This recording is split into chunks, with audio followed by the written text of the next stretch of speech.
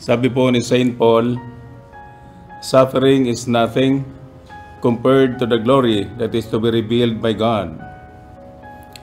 Ako po ay nag- nag-invite sa inyo na magnilay sa ating pong paghanda sa pag-celebrate sa Paschal Mystery of Christ.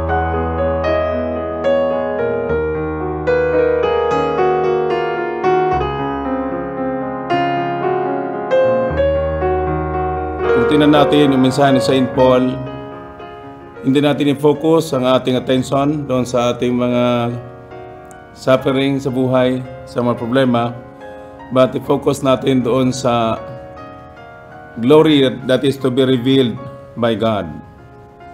Alam ko po na kanikana po tayong mga problema. At ah, tandaan ninyo, tandaan natin na mga problema na nangyari sa buhay natin ay pinapayagan ng Diyos na ating maranasan not to bring us down but to make us strong. Kaya po, kung tingnan natin ang nangyari sa ating buhay, iba pagka mayroong mga taong nagpapahirap sa atin, may mga taong nag ah, sabihin nating nag ah, mockery sa atin, mm, nag-alipusta sa atin. Actually, kung tingnan natin sa malalim na pagtingin, pasalamatan natin sila. Dahil sa kailang pag-alipusta sa atin, sa dahil sa paninirala sa atin, tayo po ay naging matatag at natutong manindigan. At patunayan, ng kailang sinasabi sa atin ay hindi totoo, hindi tama. Yan po ang wisdom. Bakit po atin silang pasalamatan? Mahirap po, alam ko, mahirap. Kaya ang ating pasalamatan na naman yung mga tao na gumagawa sa atin ng maganda, yung nagpupuri sa atin, yung pupanig sa atin. But for those people nga hindi sa ayon sa ating mga ideas, sila ang nabigay sa atin ng problema, mahirap silang pasalamatan. Kaya, nabaguhin natin natin pagtingin. Yung pala mga tao na nagpapahirap sa atin, sila rin ang nagpatatag sa atin. So yan po ang dapat natin tingnan.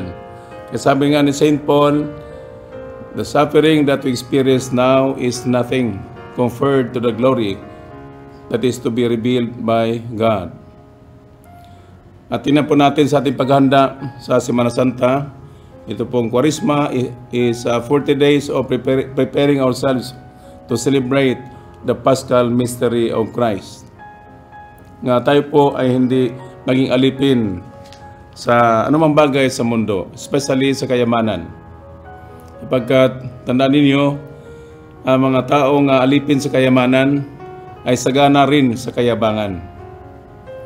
At ah, kung alam natin kung ah, ano mangyari sa tao kung sobra ng kanyang yabang, ay talagang mawala sa direksyon sa tamang landas ng buhay. So, we need money. At tandaan natin nga, money is not the root of evil. Love of money is the root of evil.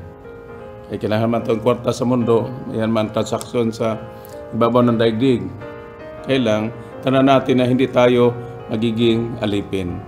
Gamitin natin ang ating kayamanan para magagawa tayo ng mabut- mabuti sa ating kapwa at the same time for the greater glory of God.